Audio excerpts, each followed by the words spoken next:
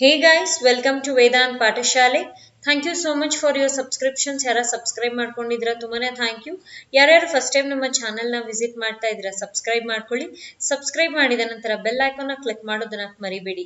ಯಾಕೆ ಅಂತಂದ್ರೆ ವೇದಾಂತ್ ಪಾಠಶಾಲೆ ಕಡೆಯಿಂದ ಹಾಕೋ ಪ್ರತಿಯೊಂದು ವಿಡಿಯೋಗಳು ನಿಮ್ಗೆ ಸಿಗ್ಬೇಕು ಅಂತಂದ್ರೆ ನೀವು ಬೆಲ್ ಐಕಾನ್ನ ಕ್ಲಿಕ್ ಮಾಡ್ಬೇಕಾಗುತ್ತೆ. ನಿಮ್ಗೆ ನಮ್ಮ ವಿಡಿಯೋಸ್ ಇಷ್ಟ ಆಗ್ತಾ ಇದ್ದಲ್ಲಿ ಅದಕ್ಕೆ ಲೈಕ್ಸ್ನ ಪ್ರೊವೈಡ್ ಮಾಡಿ.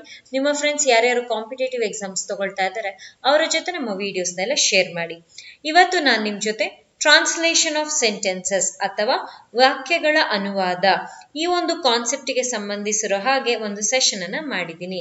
ಓಕೆ ಇವತ್ತು ನಾನು ಯಾವುದೇ ರೀತಿಯಾದಂತಹ ಪ್ಯಾರಾಗ್ರಾಫ್ಗಳನ್ನು ತಗೊಂಡ್ ಬಂದಿಲ್ಲ ಇವತ್ತು ನಾನು ನಿಮ್ ಜೊತೆ ಡಿಸ್ಕಸ್ ಮಾಡೋದಕ್ಕೆ ಕನ್ನಡ ಸೆಂಟೆನ್ಸಸ್ ಅನ್ನ ತಗೊಂಡ್ ಬಂದಿದ್ದೀನಿ ಸೆಂಟೆನ್ಸಸ್ ಕನ್ನಡದಲ್ಲಿ ಇರ್ತವೆ. ನೀವೇನ್ ಮಾಡ್ಬೇಕಾಗತ್ತೆ ಅಂತ ಅಂದ್ರೆ ಅದನ್ನ ಇಂಗ್ಲಿಷ್ಗೆ ಟ್ರಾನ್ಸ್ಲೇಟ್ ಮಾಡ್ಬೇಕಾಗತ್ತೆ. ಓಕೆ ಸೊ ಮೊದಲನೇದು ಏನಿದೆ ನೋಡ್ಕೊಳ್ಳಿ. ಮೊದಲನೇ ಸೆಂಟೆನ್ಸ್ ಏನಿದೆ ಅಂತಂದ್ರೆ, ಅವರು ರೈಲಿನಲ್ಲಿ ಬಂದರು ಅಂತ ಇದೆ. ಕ್ಲಿಯರಾ ಸೊ ಅವರು ಅಂತ ಅಂದ್ರೆ ಏನಂತ ತಗೊಳ್ತೀವಿ? ದೇ ಅಂತ ತಗೊಳ್ತೀವಿ. ರೈಲು ಅಥವಾ ಇಲ್ಲಿ ರೈಲಿನಲ್ಲಿ ಅಂತ ಹೇಳಲಾಗಿದೆ ಸೊ ಮೊದಲಿಗೆ ರೈಲು ಅಂತಂದ್ರೆ ಟ್ರೈನ್ ಅಂತ ತಗೊಳ್ಬಹುದು. ಯಾವುದರಲ್ಲಿ ಅಂತ ಇಲ್ಲಿ ಹೇಳಲಾಗಿದೆ? ಟ್ರೈನ್ ಅಂತ. ಕರೆಕ್ಟ್ ಅಲ್ವಾ? ಸೊ ಹಾಗಾಗಿ ಇಲ್ಲಿ ಬೈ ಅಂತ ತಗೊಳ್ತೀವಿ. ಬಂದರು. ಆಲ್ರೆಡಿ ಬಂದ್ಬಿಟ್ಟಿದ್ದಾರೆ. ಸೊ ಕ್ರಿಯೆ ನಡೆದು ಹೋಗಿದೆ. ಹಾಗಾಗಿ ಕೇಮ್ ಅಂತ ತಗೊಂಡಿದ್ದೀನಿ. ಫೈನಾ? ಈಗ ನೋಡ್ಕೊಳ್ಳಿ, ನೀವು ಒಂದು ಕನ್ನಡದಿಂದ ಇಂಗ್ಲಿಷ್ಗೆ ಟ್ರಾನ್ಸ್ಲೇಟ್ ಮಾಡುವಾಗ ಈ ಒಂದು ಫಾರ್ಮುಲಾನ ನೆನಪಿನಲ್ಲಿ ಇಟ್ಕೊಳ್ಬೇಕು. ಏನಿದೆ ಫಾರ್ಮುಲಾ ಸಬ್ಜೆಕ್ಟ್ ವರ್ಬ್ ನಂತರ ಆಬ್ಜೆಕ್ಟ್ ಈ ಒಂದು ಸೆಂಟೆನ್ಸ್ನಲ್ಲಿ ಸಬ್ಜೆಕ್ಟ್ ಏನು ನೋಡ್ಕೊಳ್ಳಿ. ಈ ಒಂದು ಸೆಂಟೆನ್ಸ್ನಲ್ಲಿ ಸಬ್ಜೆಕ್ಟ್ ಏನಾಗಿದೆ? ದೇ ಆಗಿದೆ.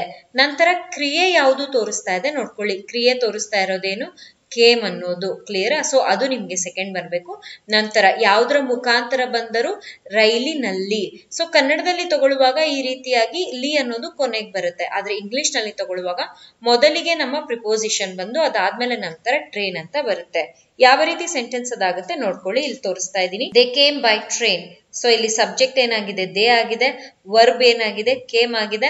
ಆಬ್ಜೆಕ್ಟ್ ಏನಾಗಿದೆ? ಬೈ ಟ್ರೈನ್ ಆಗಿದೆ. ಫೈನಾ ಓಕೆ ಎಸ್ ಈಗ ನಾನು ಸೆಕೆಂಡ್ ಸೆಂಟೆನ್ಸ್ಗೆ ಹೋಗ್ತಾ ಇದ್ದೀನಿ. ನಿನ್ನನ್ನು ನಿಯಂತ್ರಣದಲ್ಲಿ ಇಟ್ಟುಕೊಂಡಿರು. ಸೊ ಯಾರಿಗೂ ಇದು ಹೇಗೆ ಅಂತ ಅಂದ್ರೆ ಇಟ್ಸ್ ಲೈಕ್ ಕಮಾಂಡಿಂಗ್ ಅಥವಾ ಯಾರಿಗೂ ನಾವೇನು ಹೇಳ್ತಾ ಇದ್ದೀವಿ. ಈ ರೀತಿಯಾದಂತ ಒಂದು ಸೆಂಟೆನ್ಸ್ ಇದಾಗಿದೆ. ಮೋರ್ ಓವರ್ ಇಲ್ಲಿ ಪಂಕ್ಚುಯೇಷನ್ ಕೂಡ ಇದೆ. ಕ್ಲಿಯರಾ ಸೊ ನಿನ್ನನ್ನು ನಿಯಂತ್ರಣದಲ್ಲಿ ಇಟ್ಟುಕೊಂಡಿರು. ಇದನ್ನ ಸಿಂಪಲ್ ಆಗಿ ಏನಂತ ಹೇಳಬಹುದು ಇಂಗ್ಲಿಷ್ನಲ್ಲಿ ಅಂತಂದ್ರೆ ಕಂಟ್ರೋಲ್ ಯೋರ್ ಸೆಲ್ಫ್ ಅಂತ ಹೇಳಬಹುದು. ಕ್ಲಿಯರಾ ಸೊ ಇಲ್ಲಿ ಕಂಟ್ರೋಲ್ ಅಂತ ಅಂದ್ರೆ ಏನಂತ ಹೇಳಬಹುದು? ನಿಯಂತ್ರಣ ಅಂತ ಹೇಳಬಹುದು. ಯೋರ್ ಸೆಲ್ಫ್ ಅಂತ ಅಂದ್ರೆ ನಿನ್ನನ್ನು. ಫೈನ್ ಇಲ್ಲಿ ನಾವೆಲ್ಲೂ ಇಟ್ಟುಕೊಂಡಿರುವಂತಹ ಪದನ ತಗೊಂಡಿಲ್ಲ. Why because control yourself ಅಂತ ಅಂದ್ರೆ ಇಂಡೈರೆಕ್ಟ್ಲಿ ಅದು ಸೂಚಿಸ್ಬಿಡುತ್ತೆ. ಸೊ ಹಾಗಾಗಿ ಆ ಪದನ ಇಲ್ಲಿ ನಾನು ತಗೊಂಡಿಲ್ಲ. ಓಕೆ ಈಗ ನಾನು ಮೂರನೇ ಸೆಂಟೆನ್ಸ್ ಕಡೆ ಹೋಗ್ತಾ ಇದ್ದೀನಿ. ಏನಿದೆ ನೋಡ್ಕೊಳ್ಳಿ ಸೆಂಟೆನ್ಸ್ ನಿಮ್ಮ ವೃತ್ತಿ ಜೀವನಕ್ಕಾಗಿ ನೀವು ಏನು ಯೋಜಿಸಿದ್ದೀರಿ? ಓಕೆ ಮೊದಲಿಗೆ ಇಲ್ಲಿ ವೊಕ್ಯಾಬ್ಯುಲರೀಸ್ ಏನೇನಿದೆ ತೆಗೆಯೋಣ. ನಿಮ್ಮ ಅಂದ್ರೆ ಯಾರ್ ಅಂತ ತಗೊಳ್ತೀವಿ. ವೃತ್ತಿ ಜೀವನ ಅಂದ್ರೆ ಕೆರಿಯರ್ ಅಂತ ತಗೊಳ್ತೀವಿ. ಅದಕ್ಕಾಗಿ ಅಥವಾ ಕಾಗಿ ಅಂತ ಇಲ್ಲಿದೆ. ಕ್ಲಿಯರ್ ಅಲ್ವಾ? ಸೊ ಹಾಗಾಗಿ ಅದಕ್ಕೆ ಫಾರ್ ಅಂತ ತಗೊಳ್ತೀವಿ. ನೀವು ಅಂತ ಅಂದ್ರೆ ಯು ಅಂತ ತಗೊಳ್ತೀವಿ. ನೀನು ಅಂದ್ರೂ ಯು ಆಗುತ್ತೆ ಅಥವಾ ನೀವು ಅಂದ್ರೂ ಯು ಆಗುತ್ತೆ. ಎಲ್ಲಕ್ಕೂ ಕೂಡ ಯು ಅಂತಾನೆ ತಗೊಳ್ತೀವಿ. ಏನು ಅಂತ ಅಂದ್ರೆ ಏನಂತ ತಗೊಳ್ಬಹುದು? ವಾಟ್ ಅಂತ. ಯೋಜಿಸಿದ್ದೀರಿ. ಅಂದ್ರೆ ಯೋಜನೆ ಮಾಡೋದು ಅಂತಂದ್ರೆ ಪ್ಲಾನ್ ಅಂತ ಅರ್ಥ. ಆಲ್ರೆಡಿ ಯೋಜಿಸಿರೋದನ್ನ ನಾನ್ ಕೇಳ್ತಾ ಇದ್ದೀನಿ. ಅಲ್ಲಿಗೆ ಆಗೋಗಿದೆ ಕ್ರಿಯೆ. ಸೊ ಹಾಗಾಗಿ ಏನಂತ ತಗೊಳ್ತೀವಿ? ಪ್ಲಾನೆಡ್ ಅಂತ ತಗೊಳ್ತೀವಿ. ಇಲ್ಲಿ ಸಬ್ಜೆಕ್ಟ್ ಏನಾಗುತ್ತೆ ನೋಡ್ಕೊಳ್ಳಿ. ಇಲ್ಲಿ ಸಬ್ಜೆಕ್ಟ್ ಏನಾಗುತ್ತೆ ಅಂತಂದ್ರೆ ವಾಟ್ ಅಂತ ತಗೊಳ್ಬಹುದು. ಕ್ಲಿಯರ್ ಯಾಕೆಂದ್ರೆ ಯಾರಿಗಾದ್ರೂ ಕ್ವೆಶ್ಚನ್ ಮಾಡ್ತಾ ಇದ್ದೀವಿ ಅದಕ್ಕೋಸ್ಕರ. ನಂತರ ವರ್ಬ್ ಏನಾಗುತ್ತೆ ಅಥವಾ ಕ್ರಿಯಾಪದ ಏನಾಗುತ್ತೆ ಅಂತಂದ್ರೆ ಪ್ಲಾನಡ್ ಯಾಕೆ ಅಂತಂದ್ರೆ ಅವರು ಏನು ಯೋಜನೆ ಮಾಡಿದ್ದಾರೆ, ಅದರ ಬಗ್ಗೆ ಇಲ್ಲಿ ಅಂದ್ರೆ ಕ್ರಿಯೆ, ಕ್ರಿಯಾಪದ ಸೂಚಿಸ್ತಾ ಇರೋದು ಯಾವುದು? ಪ್ಲಾನಡ್ ಅಂತ. ಆಬ್ಜೆಕ್ಟ್ ಇನ್ನೇನಂತ ಇಲ್ಲ, ಕೆರಿಯರ್ ಅಥವಾ ಅದ್ರ ಜೊತೆಯಲ್ಲಿ ಬರುವಂತಹ ಪದಗಳು ಓಕೆ ನೋಡಿ ಅದು ಈ ರೀತಿಯಲ್ಲಿ ಕುತ್ಕೊಳ್ಳುತ್ತೆ.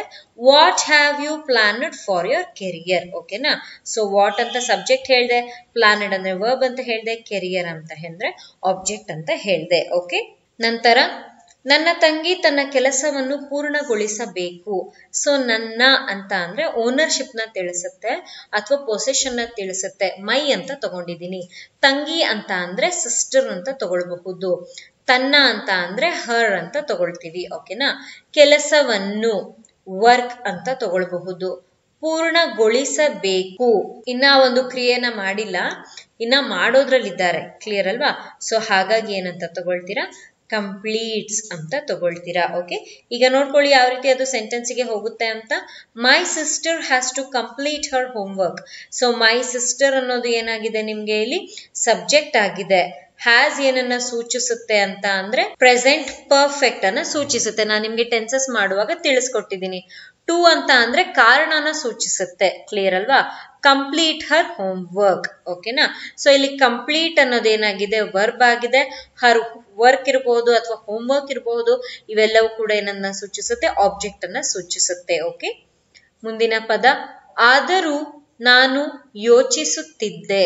ಆದರೂ ಅಂತ ಅಂದ್ರೆ, ನಾವು ಇಂಗ್ಲಿಷ್ನಲ್ಲಿ ಏನಂತ ಹೇಳ್ತೀವಿ? ದೋ ಅಂತ ಹೇಳ್ತೀವಿ. ಕ್ಲಿಯರಾ ನಂತರ ನಾನು ಐ ಅಂತ ತಗೊಳ್ತೀವಿ. ಯೋಚಿಸುತ್ತಿದ್ದೆ ಅಂದ್ರೆ ಕೆಲಸ ಅಥವಾ ಒಂದು ಕ್ರಿಯೆ ನಡೀತಾ ಇತ್ತು ಈಗಿಲ್ಲ. ಕ್ಲಿಯರ್ ಅಲ್ವಾ? ಸೊ ಭೂತಕಾಲ ಆಗಿರೋದ್ರಿಂದ ವಾಸ್ ಯೋಚಿಸುತ್ತಿದ್ದೆ ಅಂದ್ರೆ ಕ್ರಿಯೆ ಕಂಟಿನ್ಯೂಸ್ ಆಗಿ ಇದೆ. ಹಾಗಾಗಿ ಯೋಚನೆಗೆ ಥಿಂಕ್ ಥಿಂಕ್ ಅಂತ ತಗೊಳ್ತೀವಿ. ಯೋಚಿಸುತ್ತಿದ್ದೆ, ಕ್ರಿಯೆ ಕಂಟಿನ್ಯೂಸ್ ಇರೋದ್ರಿಂದ ಐ ಎನ್ ಜಿನ ತಗೊಳ್ತೀವಿ. ಫೈನಾ ಆ? ಸೆಂಟೆನ್ಸ್ ಈ ರೀತಿ ಬರುತ್ತೆ. Though I was thinking okay ದಯವಿಟ್ಟು ನೀವು ನನಗೆ ಸಹಾಯ ಮಾಡುತ್ತೀರಾ? ಸೊ ಇಲ್ಲಿ ಏನಾಗಿದೆ ಅಂತ ಅಂದ್ರೆ, ಮಾಡುತ್ತೀರಾ ಅಂತ ಇದೆ. ಕ್ಲಿಯರ್ ಅಲ್ವಾ? ಅದು ಕ್ವೆಶ್ಚನಿಂಗ್ ಅಲ್ಲಿ ಇದೆ ಅಂದ್ರೆ, ಯಾರಾದ್ರೂ ನಾವು ಹೋಗ್ಬಿಟ್ಟು ಯಾರ ಹತ್ರ ಆದ್ರೂ ಹೆಲ್ಪ್ನ ಕೇಳ್ತಾ ಇರೋ ರೀತಿ ಇದೆ. ದಯವಿಟ್ಟು ಅಂತ ಅಂದ್ರೆ ಏನಂತ ತಗೊಳ್ಬಹುದು? ಪ್ಲೀಸ್ ಅಂತ ತಗೊಳ್ಬಹುದು. ನೀವು ಅಂತ ಅಂದ್ರೆ ಯು ಅಂತ ತಗೊಳ್ಬಹುದು. ನನಗೆ ಅಂತ ಅಂದ್ರೆ ಫಾರ್ ಮೀ ಅಂತ ತಗೊಳ್ಬಹುದು. ಕ್ಲಿಯರಾ ಸಹಾಯ ಅಂದ್ರೆ ಹೆಲ್ಪ್ ಅಂತ ತಗೊಳ್ಬಹುದು. ಅಥವಾ ಫೇವರ್ ಅಂತ ಕೂಡ ತಗೊಳ್ಬಹುದು. ಎರಡರಲ್ಲಿ ಯಾವ್ದಾದ್ರು ತಗೊಳ್ಳಿ. ಮಾಡುತ್ತೀರಾ ಅಂದ್ರೆ ಪ್ರಶ್ನೆನ ಕೇಳ್ತಾ ಇದ್ದೀರಾ. ಹಾಗಾಗಿ ಏನಂತ ತಗೊಳ್ತೀರಾ? ವುಡ್ ಯು ಡೂ ಅಂದ್ರೆ ಅವ್ರಿನ ಮಾಡಿಲ್ಲ. ಮಾಡೋದ್ರಲ್ಲಿ ಇದ್ದಾರೆ ಓಕೆನಾ? ಸೊ ಹಾಗಾಗಿ ವುಡ್ ಯು ಡೂ ಅಂತ ತಗೊಳ್ತೀರಾ. ಅದನ್ನ ಸೆಂಟೆನ್ಸ್ಗೆ ಹಾಕಿದ್ರೆ ಯಾವ ರೀತಿ ಬರುತ್ತೆ ನೋಡ್ಕೊಳ್ಳಿ. Would you do me a favour please ಅಂತ ಬರುತ್ತೆ. ಅಥವಾ ಇದನ್ನ would you please do me a favour ಇದು ಕೂಡ ತಗೊಳ್ಬಹುದು. ಎರಡು ಸೆಂಟೆನ್ಸ್ ಅಲ್ಲಿ ಯಾವ್ದು ಬೇಕಾದ್ರೂ ತಗೊಳ್ಳಿ. ಮುಂದಿನ ಸೆಂಟೆನ್ಸ್ ನಾವು ನಮ್ಮ ದಾರಿ ಕಳೆದುಕೊಂಡಿದ್ದೇವೆ. ಸೊ ನಾವು ವಿ ನಮ್ಮ ಅವರ್ ದಾರಿ ವೇ ಕಳೆದುಕೊಂಡಿದ್ದೇವೆ. ಅಂದ್ರೆ ಆಲ್ರೆಡಿ ಕಳೆದು ಹೋಗಿದೆ. ಹಾಗಾಗಿ ಏನಂತ ತಗೊಳ್ತೀವಿ ಅಂತ ಅಂದ್ರೆ ಲಾಸ್ಟ್ ಅಂತ ತಗೊಳ್ತೀವಿ. ಕ್ಲಿಯರಾ ಓಕೆ ನೋಡಿ ಸೆಂಟೆನ್ಸ್ ಅಲ್ಲಿ ಅದು ಈ ರೀತಿ ಬರುತ್ತೆ. We have lost our way ಅಂತ ತಗೊಳ್ತೀವಿ. ಹ್ಯಾವ್ ಯಾಕೆ ತಗೊಂಡಿದ್ದೀನಿ? ಹ್ಯಾವ್ ಯಾಕೆ ಅಂತ ಅಂದ್ರೆ ಪ್ರೆಸೆಂಟ್ ಪರ್ಫೆಕ್ಟ್ ಅಲ್ಲಿ ತಗೊಂಡಿದ್ದೀನಿ. ನಾನು ನಿಮ್ಗೆ ಟೆನ್ಸಸ್ ಇದೆಲ್ಲ ಹೇಳ್ಕೊಟ್ಟಿದ್ದೀನಿ. ನಿಮ್ಗೆ ಯಾವ ರೀತಿ ನಾನು ಇಲ್ಲಿ ತಗೊಳ್ತಾ ಇದ್ದೀನಿ ಗೊತ್ತಾಗ್ತಾ ಇಲ್ಲ ಅಂತ ಇದ್ದಲ್ಲಿ ದಯವಿಟ್ಟು ಹೋಗಿ ಪ್ಲೇ ಲಿಸ್ಟ್ ಅಲ್ಲಿ ಚೆಕ್ ಮಾಡಿ. ನಾನು ಅಲ್ಲಿ ಬೇಸಿಕ್ ಗ್ರಾಮರ್ ಅಂತ ಹೇಳಿ ಒಂದು ಪ್ಲೇ ಲಿಸ್ಟ್ನ ಕ್ರಿಯೇಟ್ ಮಾಡಿದ್ದೀನಿ. ಅಲ್ಲಿ ಹೋಗಿ ಚೆಕ್ ಮಾಡಿದ್ರೆ ನೀವು ಆರಾಮಾಗಿ ಅಲ್ಲಿ ಟೆನ್ಸಸ್ ಏನಿದೆ ಅದನ್ನ ಕಲ್ತ್ಕೊಳ್ಬಹುದಾಗಿದೆ ಓಕೆ ಮುಂದಿನ ಸೆಂಟೆನ್ಸ್ ಸುಮಾ ನಾಳೆ ಶಾಲೆಗೆ ಹೋಗಲಿದ್ದಾರೆ. ಸೊ ಸುಮಾ ಅಂತ ಯಾರೋ ವ್ಯಕ್ತಿ ಇದ್ದಾರೆ, ಅವರೇ ಏನಾಗ್ತಾರೆ, ನಮ್ಮ ಸಬ್ಜೆಕ್ಟ್ ಆಗ್ತಾರೆ. ಸೊ ಸುಮಾ ಅಂತಂದ್ರೆ ಇಂಗ್ಲಿಷ್ನಲ್ಲಿ ಬರೆದಿದ್ದೀನಿ. ನಾಳೆ ಅಂತ ಇದೆ ಸೊ ಹಾಗಾಗಿ ಏನಂತ ತಗೊಳ್ತೀರಾ? ಅದಕ್ಕೆ ಟುಮಾರೋ ಅಂತ ತಗೊಳ್ತೀರಾ. ಶಾಲೆಗೆ ಟು ಸ್ಕೂಲ್ ಅಂತ ತಗೊಳ್ಬಹುದು. ಓಕೆ ಹೋಗಲಿದ್ದಾರೆ. ಇನ್ನ ಹೋಗಿಲ್ಲ. ನಾಳೆ ಅವರು ಹೊರಡಲಿದ್ದಾರೆ, ಅಥವಾ ಹೋಗಲಿದ್ದಾರೆ. ಓಕೆನಾ ಸೊ ನಾಳೆ ಆ ಒಂದು ಕ್ರಿಯೆ ಕಂಟಿನ್ಯೂಸ್ ಆಗಿ ಇರುತ್ತೆ. ಸೊ ಹಾಗಾಗಿ ಏನಂತ ತಗೊಳ್ತೀವಿ? ವಿಲ್ ಬಿ ಗೋಯಿಂಗ್ ಅಂತ ತಗೊಳ್ತೀವಿ. ಫೈನ್ ಈಗ ಸೆಂಟೆನ್ಸ್ಗೆ ಹಾಕೋಣ. ನೋಡಿ, ಈ ರೀತಿ ಇರುತ್ತೆ ಅದು. Suma will be going to school tomorrow so Suma ಅಂತ ಅಂದ್ರೆ ಸಬ್ಜೆಕ್ಟ್ ಹೇಳ್ದೆ ನಾನು. ವಿಲ್ ಬಿ ಅಂತ ಅಂದ್ರೆ ಏನಂತ ಹೇಳ್ದೆ? ಫ್ಯೂಚರ್ ಅಲ್ಲಿ ನಡೆಯುವಂತ ಒಂದು ಕ್ರಿಯೆ ಗೋಯಿಂಗ್ ಅಂತ ಅಂದ್ರೆ ಏನಂತ ಹೇಳ್ದೆ, ಒಂದು ವರ್ಬ್ ಆಗಿರುತ್ತೆ. ಎಲ್ಲಿಗೆ ಹೋಗ್ತಾ ಇದ್ದಾರಂತೆ? ಶಾಲೆಗೆ ಹೋಗ್ತಾ ಇದ್ದಾರೆ. ಯಾವತ್ತು ಹೋಗ್ತಾ ಇದ್ದಾರೆ ಅವರು ನೋಡ್ಕೊಳ್ಳಿ. ಟುಮಾರೋ ಇದು ಏನಾಗಿದೆ? ಆಬ್ಜೆಕ್ಟ್ ಆಗಿದೆ. ಫೈನ್ ಮುಂದಿನ ಸೆಂಟೆನ್ಸ್ ಶ್ಯಾಮ್ ನಿಮ್ಮ ಹಿಂದೆ ನಿಂತಿದ್ದ. ಅಂದ್ರೆ ಹುಡುಗ ನಿಮ್ಮ ಹಿಂದೆ ಇದ್ದ, ಈಗ ಇಲ್ಲ ಅಂತ ಹೇಳ್ತಾ ಇದ್ದೀವಿ. ಫೈನ್ ಸೊ ಶ್ಯಾಮ್ ಅಂತ ಇರೋದನ್ನ ಹಾಗೆ ತಗೊಳ್ತೀರಾ? ನಿಮ್ಮ ಅಂತ ಇದೆ. ಸೊ ಇದು ಸೆಂಟೆನ್ಸ್ ಪ್ರಕಾರ ಚೇಂಜ್ ಆಗುತ್ತೆ. ಓಕೆ ಇಲ್ಲಿ ನಿಮ್ಮ ಅನ್ನೋದೇನಾಗುತ್ತೆ ಯು ಅಂತ ಆಗುತ್ತೆ. ಹಿಂದೆ ಅಂತ ಅಂದ್ರೆ ಬಿಹೈಂಡ್ ಅಂತ ಆಗುತ್ತೆ. ನಿಂತಿದ್ದ. ಸೊ ಹೊರಟೋಗಿದ್ದಾನೆ. ಈಗ ನಾವು ನಿಂತಿಲ್ಲ. ಸೊ ಹಾಗಾಗಿ ಭೂತಕಾಲದಲ್ಲಿ ವಾಸ್ ಸ್ಟ್ಯಾಂಡಿಂಗ್ ಓಕೆ ಸೊ ಈಗ ಸೆಂಟೆನ್ಸಿಗೆ ಹಾಕೋಣ. ಯಾವ ರೀತಿ ಅಂತ? ಸಬ್ಜೆಕ್ಟ್ ನೋಡ್ಕೊಳ್ಳಿ, ಏನಿದೆ? ಶಾಮ್ ಅಂತ ಇದೆ. ವರ್ಬ್ ಏನ್ ಬರುತ್ತೆ ಅಂತಂದ್ರೆ ವಾಸ್ ಸ್ಟ್ಯಾಂಡಿಂಗ್ ಅಥವಾ ಅದು ಅವನ ಕ್ರಿಯೆಯನ್ನ ತೋರಿಸ್ತಾ ಇದ್ನ. ಇದು ನಿಂತಿದ್ನ ಅಥವಾ ಅವನು ಕೂತಿದ್ನ ಅಥವಾ ಓಡಾಡ್ತಾ ಇದ್ನ, ಓಡ್ತಾ ಇದ್ನ, ಈ ರೀತಿ. ಕ್ರಿಯೆಯನ್ನ ತೋರಿಸೋದು ಸೆಕೆಂಡ್ ಬರುತ್ತೆ, ಎಲ್ಲಿ ಅಂತ ಇರೋದು ಇವೆರಡು ಪದಗಳು ಬರ್ತವೆ. ಓಕೆ ಈಗ ಸೆಂಟೆನ್ಸ್ಗೆ ಹಾಕ್ತಾ ಇದ್ದೀನಿ, ನೋಡ್ಕೊಳ್ಳಿ. Shyam was standing behind you ಮುಂದಿನ ಪ್ರಶ್ನೆ, ಪುಸ್ತಕವು ದಿಂಬಿನ ಕೆಳಗೆ ಇದೆ. ಸೊ ಪುಸ್ತಕವು ಅಂತ ಇದೆ. ಸೊ ಹಾಗಾಗಿ ದ ಬುಕ್ ಅಂತ ತಗೊಳ್ತೀರಾ? ಕ್ಲಿಯರಾ ನಂತರ ದಿಂಬಿನ ಅಂದ್ರೆ ಪಿಲ್ಲೋ ದಿಂಬು ಅಂತ ಅಂದ್ರೆ ಪಿಲ್ಲೋ ಅಂತ ಹೇಳ್ತೀವಿ. ಕೆಳಗೆ. ಸೊ ಕೆಳಗೆ ಅಂತ ಅಂದ್ರೆ ಅಂಡರ್ ಅಂತ ಹೇಳಬಹುದು. ಅಥವಾ ಇನ್ನೊಂದು ಪದ ಇದೆ ಬಿನೀತ್ ಅಂತ ಹೇಳ್ತೀವಿ. ಕ್ಲಿಯರಾ ಈಗ ನೀವು ನೋಡ್ತಾ ಇದ್ರೆ ಸೆಂಟೆನ್ಸ್ ಇದೆ. ಸೊ ಇದನ್ನ ದ ಬುಕ್ ಈಸ್ ಬಿನೇತ್ ಅಥವಾ ಅಂಡರ್ ನೀತ್ ದ ಪಿಲ್ಲೋ ಎರಡರಲ್ಲಿ ನೀವು ಯಾವ ಪದ ಆದ್ರೂ ತಗೊಳ್ಳಿ, ಎರಡು ಕೂಡ ಕರೆಕ್ಟ್ ಆಗಿ ಇರುತ್ತೆ. ಓಕೆ ಓಕೆ ಗೈಸ್ ಸೊ ಇದಾಗಿತ್ತು ಇವತ್ತಿನ ಸೆಷನ್ ಐ ಹೋಪ್ ಇವತ್ತು ನಾನು ನಿಮ್ಗೆ ತಿಳಿಸ್ಕೊಟ್ಟಿರುವಂತಹ ಟ್ರಾನ್ಸ್ಲೇಷನ್ಗೆ ರಿಲೇಟ್ ಆಗಿರುವಂತಹ ಕೆಲವು ಸೆಂಟೆನ್ಸಸ್ ನಿಮಗೆ ಅರ್ಥ ಆಗಿದೆ, ಇಷ್ಟ ಆಗಿದೆ, ನೆನಪಲ್ಲಿರುತ್ತೆ ಅಂತ ನಾನು ಭಾವಿಸ್ತೀನಿ.